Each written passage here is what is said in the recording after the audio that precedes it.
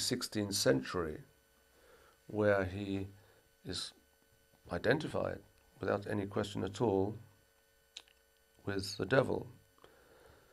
And then, shortly after this, about 10 years after that, in uh, 1560, another version of the story brings in, connects the Piper story with the rat story. There are many stories about magicians, musicians who have used their powers to rid places of vermin, be it rats or mice or whatever.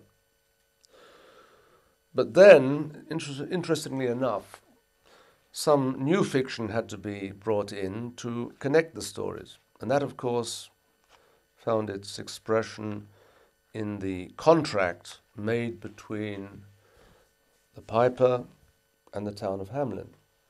He came to the town, he realized how terrible the situation was. He made a commercial offer, which was quite simply I can get rid of the rats for a certain sum of money, which had to be agreed on, contract.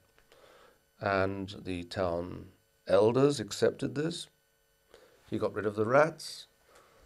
But then they, that is, the elders of the town, ratted on him. They reneged on their commitment, and he took appropriate action from his point of view. And so the fact that the piper was cheated mitigates against the whole, or militates against the whole question of whether he can be uh, identified with evil per se, and the town people were his victims because they themselves had contributed to this sad event. And we see, I think we can relate this question of money and contracts to the situation in Europe, particularly in Germany, in the latter half of the 16th century. We mustn't forget there had been terrible unrest, social unrest. And in fact, at the beginning of that century, or the end of the 15th century, a figure known as the Piper of Niklashausen, Pfeifer von Niklashausen, uh, instigated a rebellion among the peasantry against the prevailing social system. Again, why was he a piper? As though the use of music had some kind of subversive political effect. And uh, I personally would argue that the whole story, as it's gelled in the uh, 16th century, expresses misgivings not so much against heretics as against uh, people fomenting social unrest at a time when the old feudal system was dissolving and capitalism was on the rise. And then, what about Browning's version? Interestingly enough, um, a psychologist, a person interested in uh, depth psychology and uh, perhaps developing the theories of uh, Jung, the great founder of um, a certain branch of modern psych- psychological theory, said, in fact, that the piper, far from being the devil, is a representation of Jesus Christ. And um, I think it's pretty clear that though he wrote his article in Italian, he refers very much to the text of Browning's poem, where the piper plays three notes. Could this be an allusion to the Trinity, as this psychologist thinks, or could it be a reference to the three days, the time of the resurrection? And there are other indications that one can find from a very close reading of the text that uh, at least indicates that Browning associated the Pied Piper more with Jesus than with the devil, but not on a purely religious basis. I think he associated the artist, the musician, the poet, very much with um, the divine, the sublime. and we notice that we note that also from his other works. So we see this story has a great deal of depth to it that um,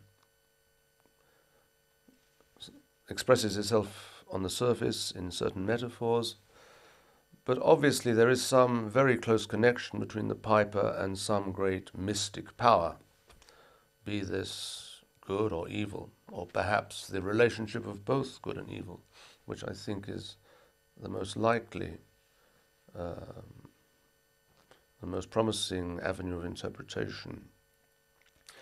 In fact, it's interesting to note how the story evolved um, up to the point when rats entered the story. I was visiting Hamelin a couple of months back. I was reading the um, very, very long and detailed compilation of the versions of the story by Hans Dobbertin in the, in the town archives.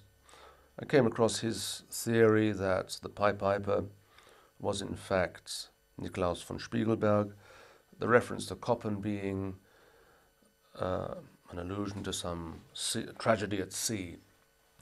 But I had noticed that there was a town in the immediate neighborhood called um, Koppenbrugge.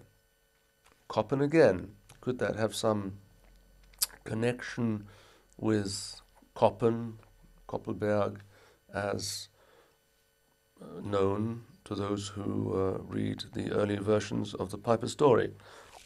So, on the spur of the moment, rather late in the day, in fact, I took the train to this place, Koppenbrugge, not knowing even if I could stay the night, uh, on a hunch that perhaps something interesting could be discovered there.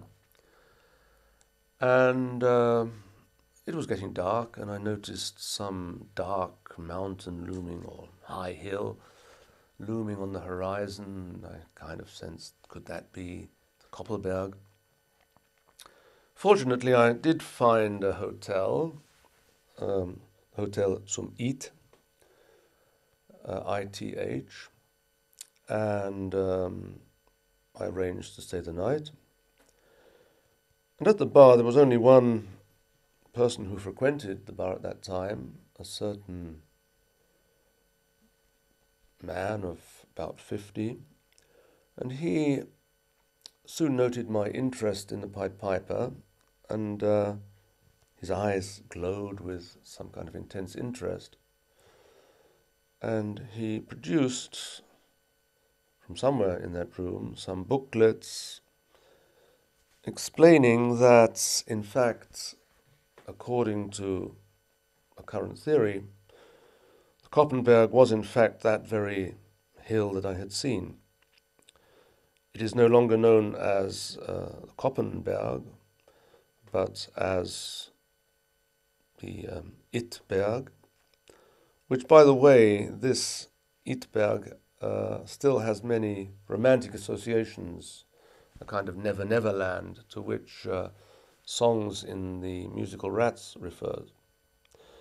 And he said that he was personally convinced that the Pied Piper, in fact, Niklaus von Spiegelberg, who established a very um, strong authority in that town, led the 130 children to Koppenbrugge.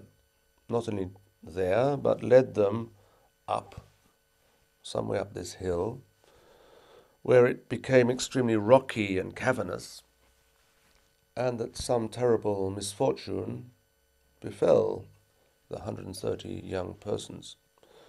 This could have been some kind of geological shift, an earthquake, or more probably, they were led to their death. Why should that be?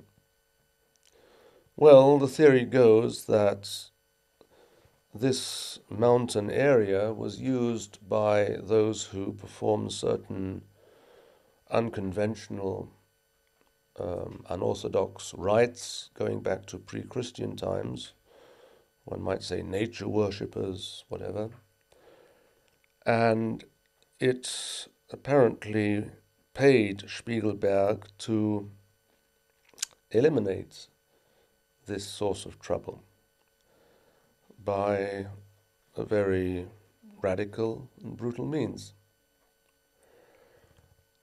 A few days later, I, in fact, went up this hill and saw some of the sites where uh, this event could have taken place. And um, I must admit, it was a very eerie kind of scenario. And the uh, director of the museum in Koppenbrugge, a certain Gernot Husam, has written a very scholarly work on uh, arguments why the thesis I've just proposed is valid. And he can uh, adduce evidence showing that uh, earlier this hill was in fact known as um, Koppenberg. And he goes further in, into the history of that period.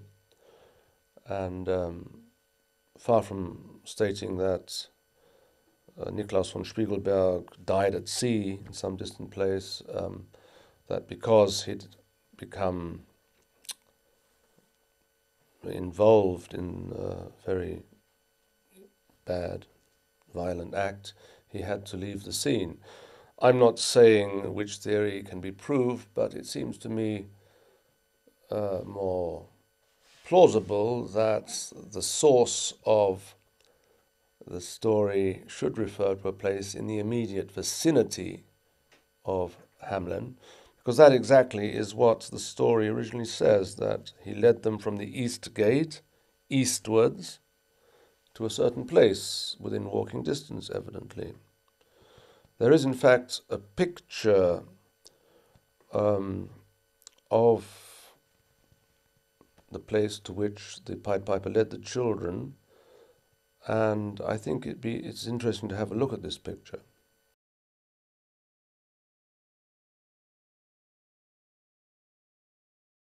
The picture, which I think is a very interesting source of um, evidence, was made by a certain Augustin von Mörsperg from Alsace, who traveled around parts of Europe making pictures and uh, doing a great deal of historical research. And I think this picture does indicate the depth of research he must have engaged in. The picture dates from the year 1592. If we look at it closely, we see three stags, three deer. And uh, three deer were, the, the emblems of three deer were in the coat of arms of the house of uh, Spiegelberg, the Counts Spiegelberg, this dynasty that established itself in um, Koppenbrugge way back in the uh, 13th century and um, continued for centuries further. We also see the path along which the children were led, leading from the east gate of uh, the city or the town of Hamelin, in accordance with tradition. The path they took leads to a place of execution. We see gallows, and a wheel, an instrument of torture. And that would correspond to the um, idea put forward in a number of documents that Calvary was in fact a place of execution where the gallows would have stood. Another aspect of the concept Calvary in the Middle Ages was that it represented a skull. One might think here of Golgotha in Hebrew, the place of Christ's crucifixion. But to the medieval mind, it symbolized the gaping jaws of hell into which uh, sinners, particularly heretics and the worst uh, offenders against the medieval church would have been swallowed, indicating that, um, shall we say, official you know, guardians of the church would have regarded the Pied Piper as some kind of leader of unchristian people